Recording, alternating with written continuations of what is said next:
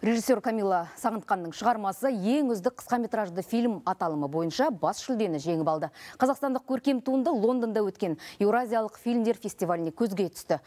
16 минуттық тәуелсіздік күні құтты болсын фильмі сүйген жары бақилық болып өмірдің мәнін жоғалтқан орта жастағы ер кісі туралы. Отандық өнім сарапшылар мен көрерменнің жоғары бағасына ие болды. Еуразиялық шығармашылық гильдиясы ұйымдастырған кинофестиваль биыл алтыншы рет өткізілді. Оған қатысуға жүзге жуық үміткер ниет білдірген. Орталық азиялық киногерлердің сенімділігінің нығая түскені сезіледі. Олар шығармашылықтарын шыңдап, батыс көрерменіне бір қадам жақын бола түсті. Өмірімізге басқа қырынан қарауға мүмкіндік бергені қуантады.